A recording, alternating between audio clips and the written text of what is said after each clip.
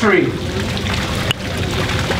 It was 18, 1884 was that first residential school opening. People will talk about residential schools, but we forget about also how we were treated outside of those schools. The healing couldn't happen, non-First Nations, until you picked up this knowledge with us.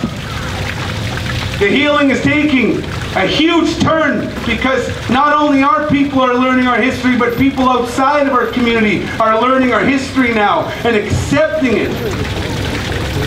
That allows us to pick our head up when we're outside of our community. That allows us to look at you in the eye with pride when we know you're learning it too. This move here with our wolves, our Tlukwana, is just the beginning.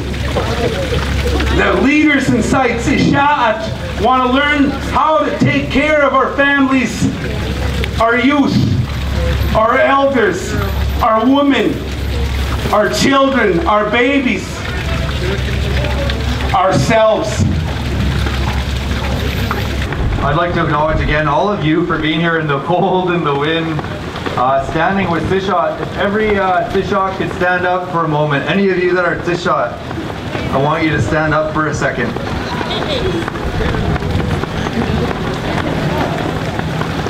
It took all of our community to come together to make today possible. There are so many people that contributed today in each and every way that you couldn't imagine. Uh, and I, I think it's important that all of you stand proud on this site, that all of us come together as Tseshaht on Tukwatkwis to stand together as one. And I think it's important. I want to acknowledge all of you for coming here, but I also want everybody else to see this. This is this is the the community, the mushim of our Hatwea. And I think it's important to acknowledge all of them who made today possible as well. So thank you, all of our community, for standing with us today and helping organize today.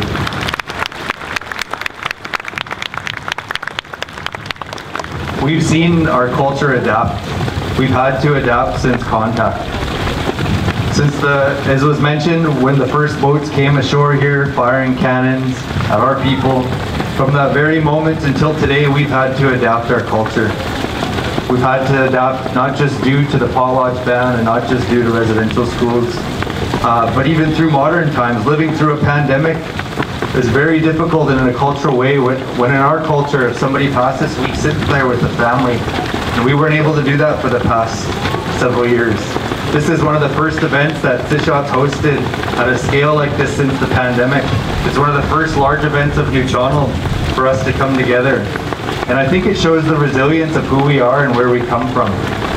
But I want to thank you all from the bottom of our hearts on behalf of all of Sishot for helping bring us back here to our home to our home and be able to sing our songs and dance unveil this amazing moment I think we're about to feel as as uh, as a people to, to connect back here through the So once again, on behalf of all of Tseshaht Mushjim, there's over 1,200 of us. On behalf of our Hotwea and all of our elected council, we say welcome, welcome to Tutwatquist. Two.